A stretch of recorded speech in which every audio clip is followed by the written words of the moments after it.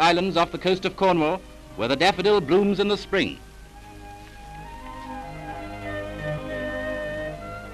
The islands are composed of granite, and granite hedges separate the fields under cultivation. In early spring, narcissus and daffodils, of which there are over 2,000 varieties, make a floral carpet over the islands.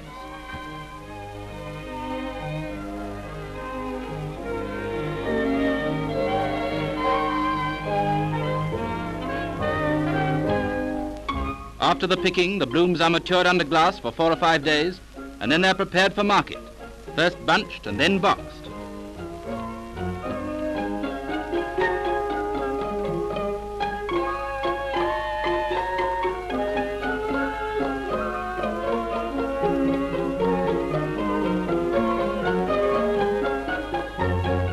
In the small grey hours, quaint little carts jog trot out to the quayside at St Mary's, where a boat is waiting for her cargo of fragrant flowers for the mainland.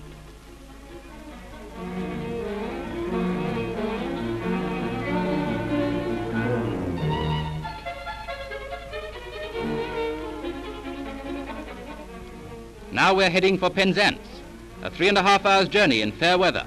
Sometimes, if the seas are rough, it may take twice that time.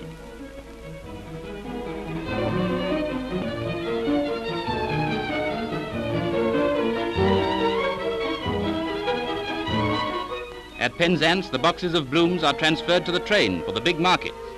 Some of the 40 tons of flowers that are shipped from the Scillies every other day in the season.